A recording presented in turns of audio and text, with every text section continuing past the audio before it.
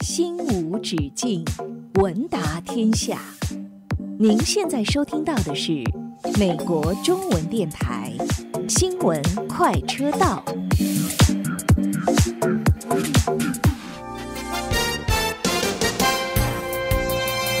听众朋友，大家好，这里是 AM 一四五零美国中文电台，欢迎收听今天的新闻快车道，我是肖芳。今天是二零二二年七月二十一号，星期四。今天节目的主要内容有：旧金山联合校区董事会成员徐安被要求辞职；湾区汽油价格连续第五周持续下降；白宫表示，拜登如何感染新冠并不重要，更多美国人恢复正常生活才重要。与 CDC、FDA 同级，拜登政府拟升格疫情应对机构。中方称，佩洛西若一意孤行访台，必将坚决反制。被罚八十点二六亿人民币之后，滴滴回应称，诚恳接受，坚决服从，认真整改。欧洲央行十一年来首次加息，不排除继续加息。俄德北溪管道维修恢复供气，但输送量仅三成。下面请听今天节目的详细内容。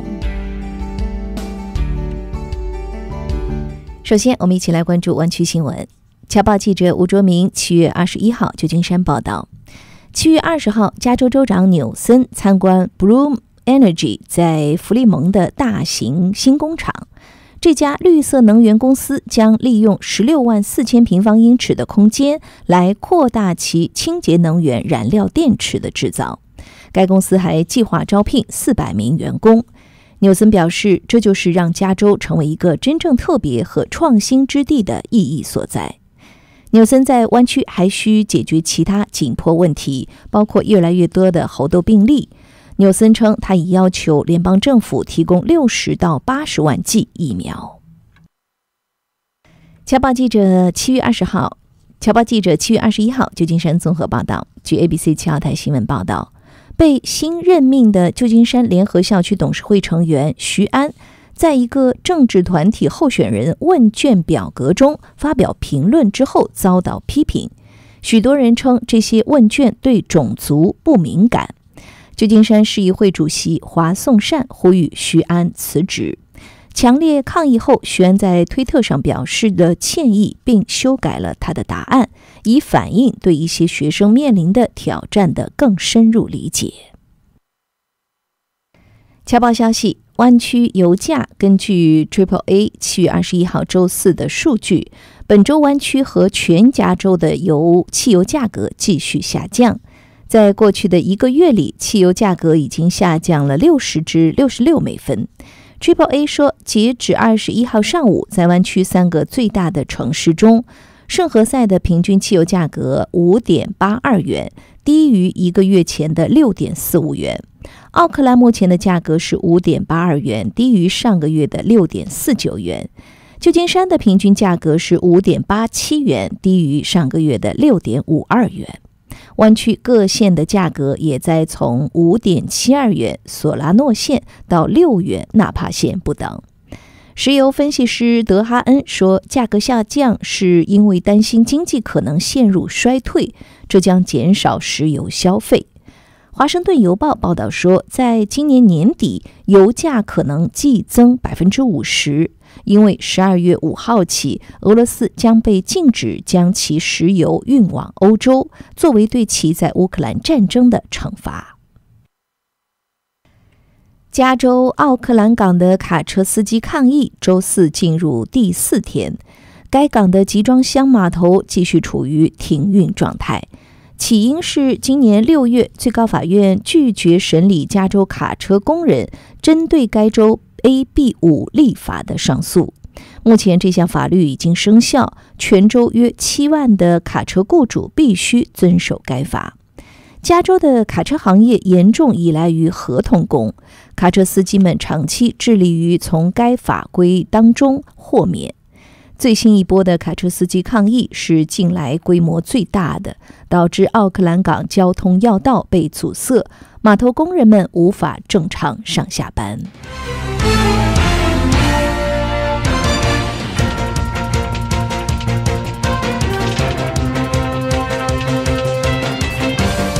继续来关注美国新闻侨报网报道白宫周四表示，美国总统乔拜登检测出新冠阳性。白宫新闻秘书让·皮埃尔说，乔登的症状轻微，并已开始服用一种旨在减轻疾病严重程度的抗病毒药物 Paxlovid，并表示拜登将在白宫隔离，并将在此期间继续充分履行他的所有职责。现年七十九岁的拜登在就职前夕接种了两剂辉瑞公司的新冠病毒疫苗，九月份接种了第一剂加强疫苗，三月三十号又接种了一剂。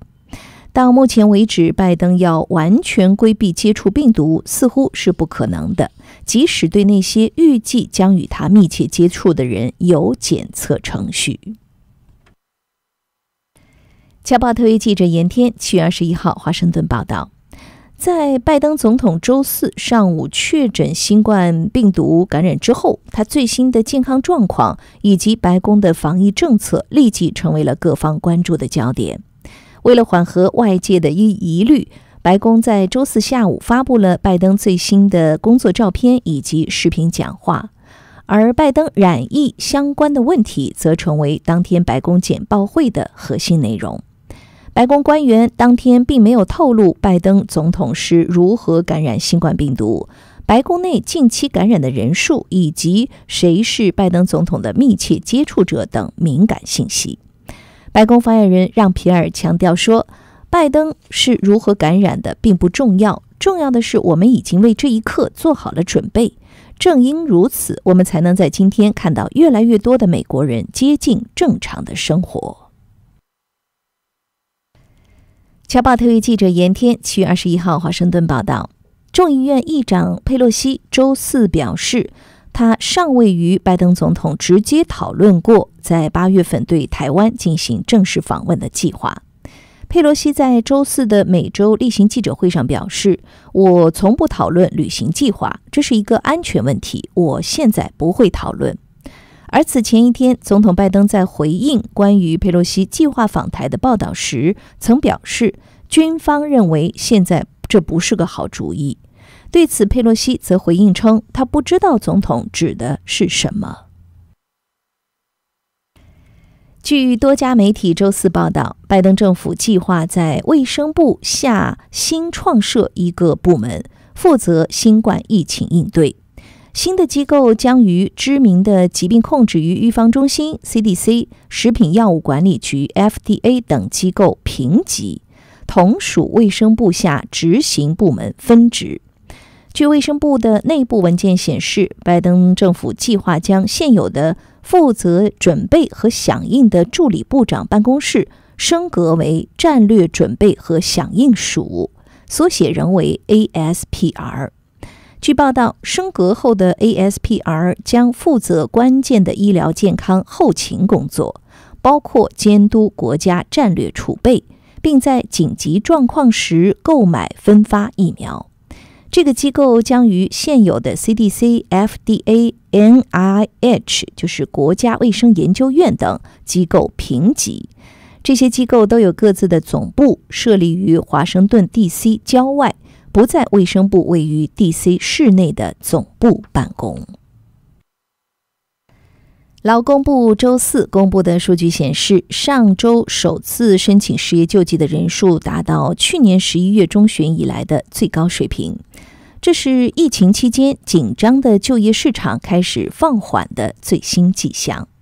截止七月十六号当周。二十五点一万人首申失业救济，较前一周增加七千人，高于华尔街经济学家预估的二十四万人。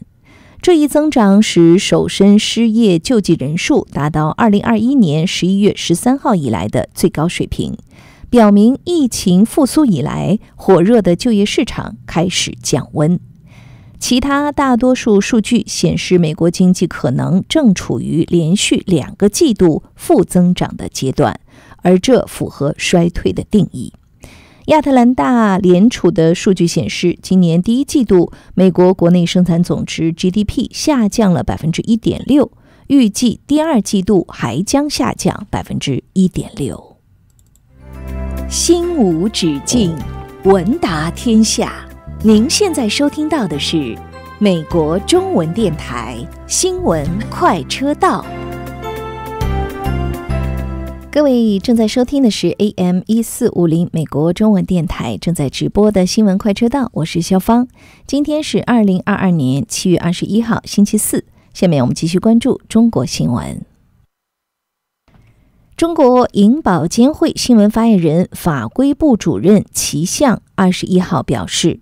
总体来看，中国中小银行总体运行平稳，风险可控。其中，城商行风险化解取得阶段性进展。齐相在当天举行的国务院新闻办公室发布会上表示，目前中国中小银行总资产九十六万亿元人民币。占银行业总资产百分之二十九，其中中小银行三农贷款和小微企业贷款分别占银行业的百分之三十九和百分之四十六，比例相当高。由于种种历史原因，中小银行积累了一些风险，受到广泛关注。齐相介绍，今年以来，银保监会扎实推进中小银行改革化险，开展了多方面工作。二十一号，河南、安徽相继发布公告，启动了对十万元以下客户本金的第二批垫付工作。目前，相关工作正在稳步推进进程中。中国疾控中心的专家二十一号称，将不断收集梳理各地根据最新防控方案总体措施要求，在疫情处置中出现的新问题和新难点。比如隔离周期可否再缩短，低风险区范围能否进行更为精准的划定等。河南省驻马店市二十一号通报，截止二十号二十四时，本轮疫情驻马店市累计报告感染者五百一十一例，其中确诊病例十三例，无症状感染者四百九十八例。自七月九号驻马店本轮疫情发生以来，感染人数持续增加，其中感染者多在驻马店市密阳县，在五百一十一例的感染者中，密阳县有五百零八例。就美国众议长佩洛西可能访问台湾一事，中国外交部发言人汪文斌二十一号再次回应称，美国国会是美国政府的组成部分。理应严格遵守美方在台湾问题上的承诺，如佩洛西众议长访台将严重违反一个中国原则和中美三个联合公报规定，严重损害中国主权和领土完整，严重冲击中美关系的政治基础，向台独分裂势力发出严重错误信号。如果美方一意孤行，中方必将采取有力措施予以坚决应对和反制。我们说到做到。另据消息，佩洛西的办公室二十一号对媒体重申，不会预先证实或否认佩洛西的国外出访行程。中国网信办对网约车公司滴滴全球处以人民币八十点二六亿。约十二亿美元的罚款，同时对滴滴董事长兼 CEO 成为总裁柳青各处人民币一百万元（约十五万美金）的罚款。此举标志着对这家网约车公司网络安全做法长达一年的调查结束。有关人士分析称，网信办的行政处网信办的行政罚款。不仅创下了中国公司违反数据安全和个人隐私的记录，还包括对责任人的最高罚款。预计这将对其他中国公司产生寒蝉效应。网信办说，滴滴公司共存在十六项违法事实，没有透露何时才能重启滴滴应用程序。滴滴回应称，诚恳接受，坚决服从，认真整改。ATP 巡回赛二十一号表示，由于中国对疫情的限制，上海大师赛和其他三场男子锦标赛今年将不会在中国举行。这标志着 ATP 已经是第三年取消在中国的巡回赛。除了可在今年二月按照严格的防疫规定举办了冬奥会外，中国今年几乎所有国际体育赛事都被取消或推迟。自二零一九年十二月新冠疫情首次爆发以来，截至七月二十号，中国大陆已确认二十二万八千一百八十例新冠病例。尽管按全球标准衡量，这个数字很小，但中国坚持严格的病毒清零政策，而不是和绝大多数国家一样放宽限制，选择与病毒共存。有着“中国淡水鱼之王”的之称的长江白鲟，二十一号被世界自然保护联盟正式宣布灭绝。世界自然保护联盟二十一号更新濒危物种红色目录，目录显示长江特有物种白鲟已经灭绝，长江鲟野外灭绝。二十一号，在二零二二美国俄勒冈田径世锦赛女子铁饼比赛中，中国选手冯彬一掷定乾坤，首轮掷出六十九米十二的个人最好成绩，获得冠军。这是继男子跳远之后，中国选手在本届世锦赛上获得的第二枚金牌，也是继二零一一年韩国大邱世锦赛李艳凤夺得女子铁饼金牌后。中国选手时隔十一年再度在该项目上获得金牌。香港海洋公园说，生活在该园的雄性大熊猫安安于二十一号被安乐死，享年三十五岁，相当于人类的一百零五岁。安安自一九九九年以来一直居住在香港海洋公园。过去几周，安安的健康状况不断恶化。它的食物摄入量下降，直到它最终停止进食。这是人工饲养环境下全球迄今最长寿的雄性大熊猫。大熊猫安安及佳佳于1999年一同从成都来到香港海洋公园，他们是中央政府赠予香港特区的礼物。而佳佳已在2016年10月离世。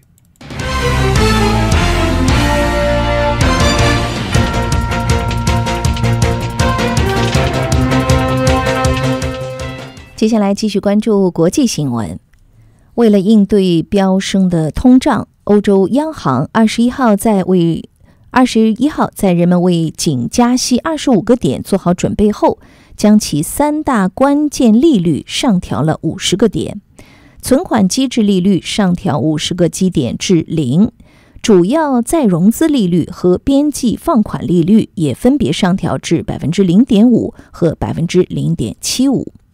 这是欧洲央行十一年以来的首次加息，也标志着二零一四年以来的负利率时代告终。这一决定具有高风险，可能导致欧元区国家的经济危机恶化，使主要经济体陷入衰退。但欧洲央行已经尽可能地承受住压力，放慢了这次加息的脚步，并表示不排除进行其他加息。幅度将取决于数据情况。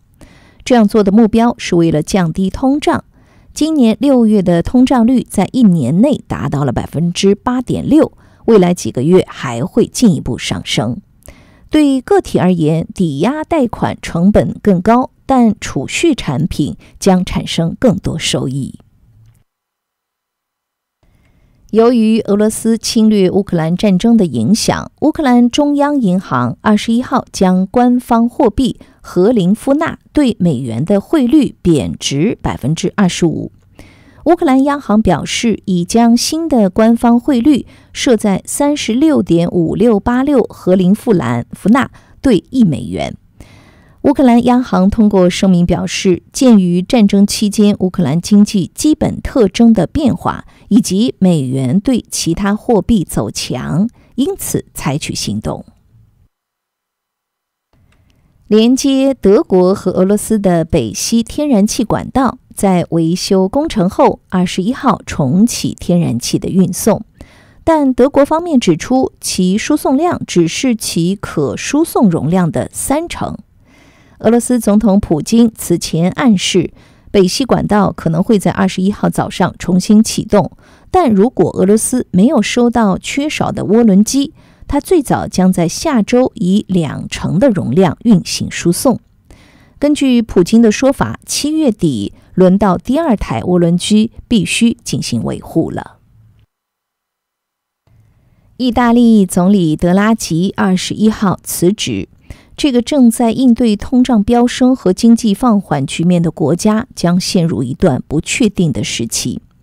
德拉吉宣布辞职的前一天，其联合政府中的三个大党在参议院的信任投票中没有支持这位总理。尽管德拉吉赢得了信任投票，但大规模的弃票表明他无法再维系一个意见分歧的联盟。意大利总统马塔雷拉现在必须决定是否询问各党派领导人能否形成新的议会多数。以便该国得以避免提前选举。当地时间二十号，英国保守党党首竞选最终轮候选人名单公布，前财政大臣苏纳克和外交大臣特拉斯进入最后一轮角逐。当天，英国保守党议员们对三名保守党党首候选人发起第五轮投票。结果显示，苏纳克和泰拉斯分别以一百三十七票和一百一十三票的结果进入最后一轮角逐。前国防大臣莫当特则以一百零五票淘汰出局。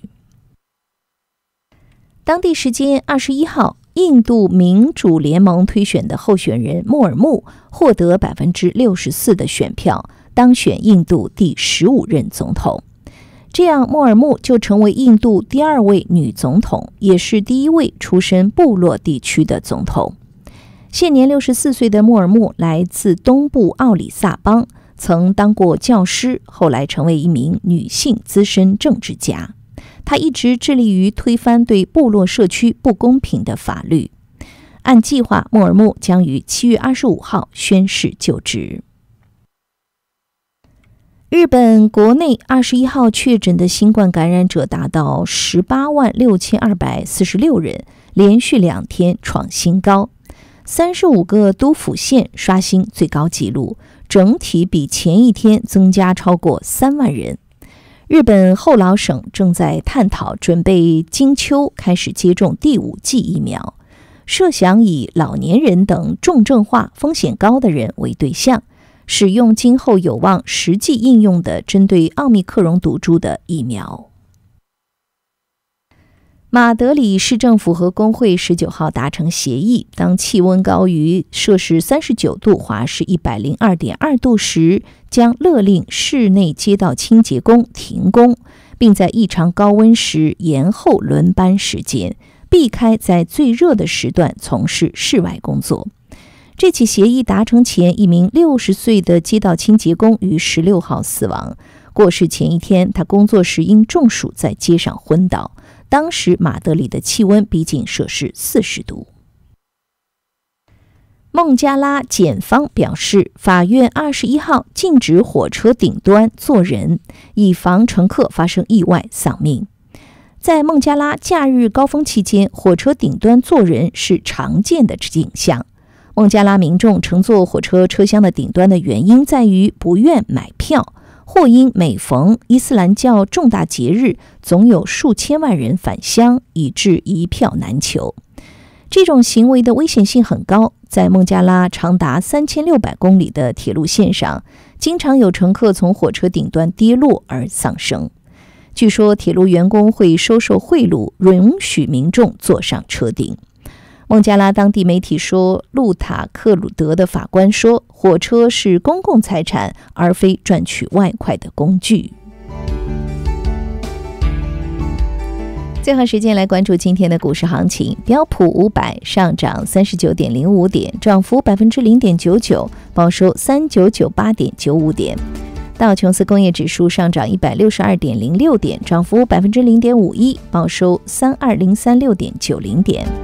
纳斯达克综合指数上涨一百六十一点九六点，涨幅百分之一点三六，报收一二零五九点六一点。以上新闻快车道节目由肖芳编辑播报，感谢收听。